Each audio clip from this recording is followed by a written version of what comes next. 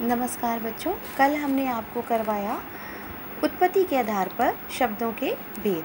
आज हम करेंगे रचना के आधार पर शब्द के भेद। रचना के आधार पर शब्द तीन प्रकार के होते हैं, रूप, यौगिक और योग रूप यो, रूप, यौगिक और योग रूप रूट शब्द वे होते हैं जो एक ही अर्थ के होते हैं, जिनका कोई और नहीं, जिसका हम फ जमल फल।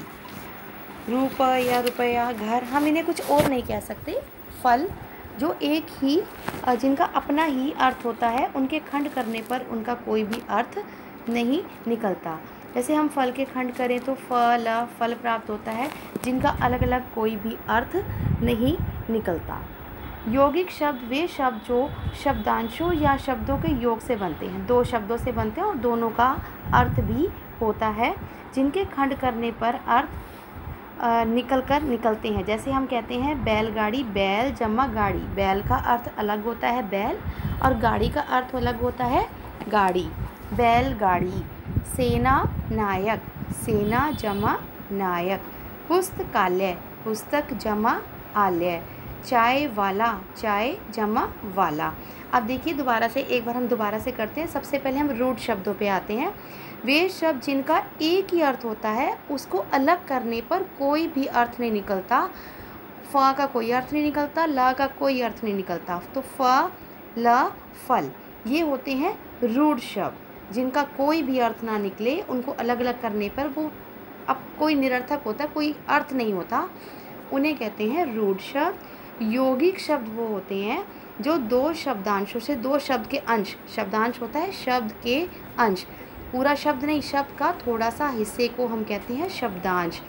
तो उससे शब्दों के योग से जो बनते हैं और उनको अलग करने पर उनका अर्थ भी निकलता है, उसे कहते हैं यौगिक शब्द। जैसे बैल, गाड़ी, बैल, जमा, गाड़ी। जैसे पुस्तकालय, पुस्तक पुस्तक होती है, जमा आलय, रखने का स्थान। आलय को कहते हैं रखने का स्थान। उसके बाद आते हैं योग रूढ़ शब्द। वे शब्द जो योगी की तरह दो शब्दों से मिलकर बनते हैं। परंतु वे किसी विशेष अर्थ के लिए रूढ़ हो जाते हैं। पहले तो वो दो बनते हैं, फिर वो रूढ़ हो जाते हैं। जैसे मुरलीधर। मुरलीधर क्या कहते हैं? श्री कृष्ण। श्री कृष्ण का कोई अर्थ नहीं निकलता। मुरली को धारण करने वाला श्री कृष्ण। फिर बाद में वो रूढ़ हो जाता है। योग से रूढ़ हुआ। नीलकंठ। नीला है कंठ जिसका शिव जी शिव जी का कोई अर्थ नहीं शिव जी शिव जी ही हैं। चक्र पाणी, चक्र को धारण करने वाले विष्णु जी। विष्णु विष्णु ही है, विष्णु को अलग करने पर वो रूढ़ बन गया। तो यहाँ पे हम इसको कहेंगे योग। योग होता है, दो चीज़ों से बना और रूढ़ होता है, जिसका कोई भी अर्थ नहीं निकलता। वो अपने में ही, अपने में ही वो है।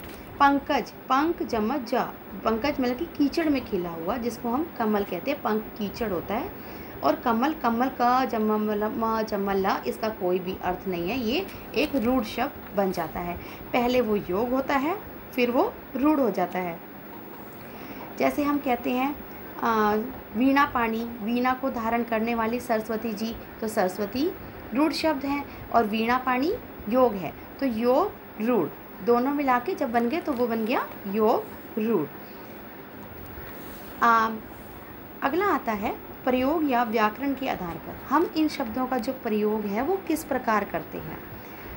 जब भी मैंने आपको ग्रामर करवाई है, मैंने आपको एक चीज़ ज़रूर बताई है कि हमारी ग्रामर दो भागों में बटी होती है, विकारी शब्द और अविकारी शब्द। विकारी शब्द वो होती हैं जिनको परिवर्तन या दोष जिनको बदला जा सकता है, जो लिंग, वचन, कारक आदि से प्रभावित होते हैं, जिनमें परिवर्तन आ जाता है। जिस प्रकार हम संज्ञा को भाववाचक संज्ञा में बदल लेते हैं, सर्वनाम भी बदले जा सकते हैं, क्रिया भी बदली जा सकती है, विशेषण भी बदला जा सकता है। जैसे संज्ञा में लड़का है तो लड़के, लड़की, लड़कों ने उसको वंश वंश, वचन, लिंग, कारक के अनुसार हम बदल सकते हैं। तो ये विकारी शब्द होते हैं। उसके बाद आता है हमारा अविकारी शब्द। अविकारी शब्द वो ये होते हैं जिनका लिंग वचन कारक पर कोई भी प्रभाव नहीं पड़ता। वे अविकारी शब्द कहलाते हैं। उनमें कोई भी परिवर्तन नहीं होता, जैसे धीरे धीरे अगर मैंने कह दिया, कछुआ धीरे धीरे चलता है तो कछुआ कछुए हो सकता है। लेकिन धीरे धीरे शब्द तो हम नहीं बदल सकते ना।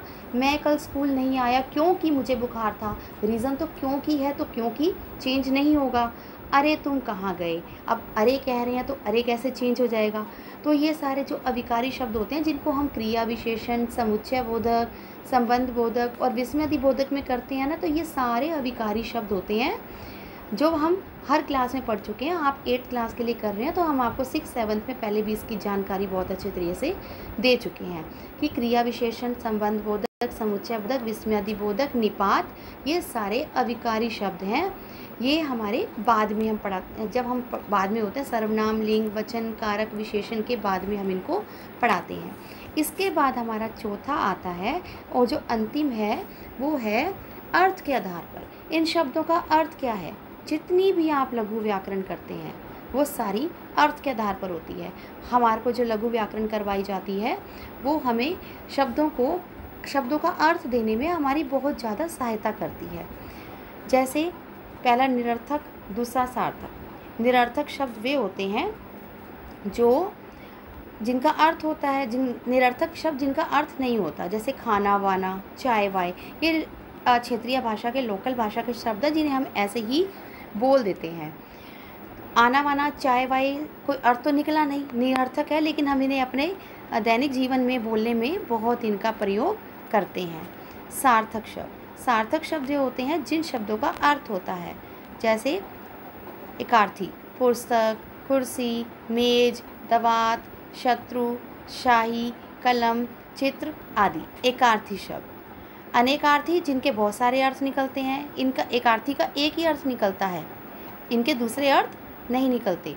अनेकार्थी शब्द, वे शब्द जो एक से अधिक अर्थ वाले होते हैं, जैसे पत्र को क्या कहते हैं? पत्ता भी कहते हैं, चिट्ठी भी कहते हैं, आकाश को क्या कहते हैं, अंबर भी कहते हैं, कपड़ा भी कहते हैं। तो ये अनेक आर्थिक शब्द जो आप बहुत अच्छी तरह से लघु व्याकरण में कर चुके हो।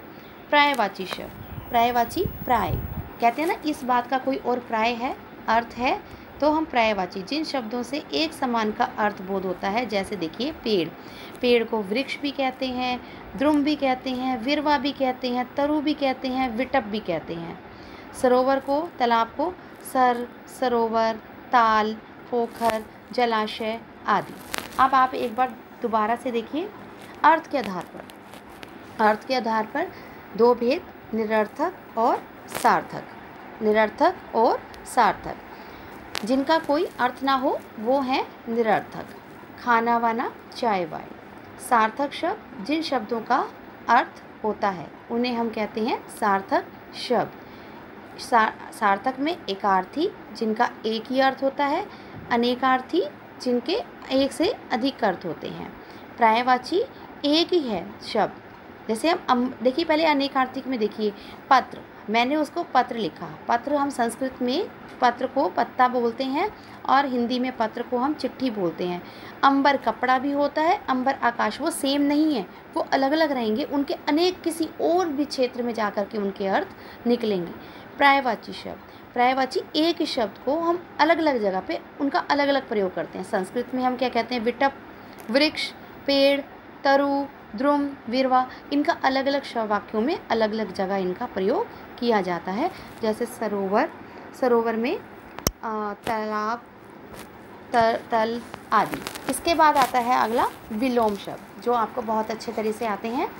परस्पर विपरीत, जो विपरीत होते हैं, इन्हें हम विलोम भी कहते हैं, उल्टे शब्द भी कहते हैं, विपरीत भी कहते हैं। विपरीत जिस जो हमने बोला, उसके अपोजिट, विपरीत।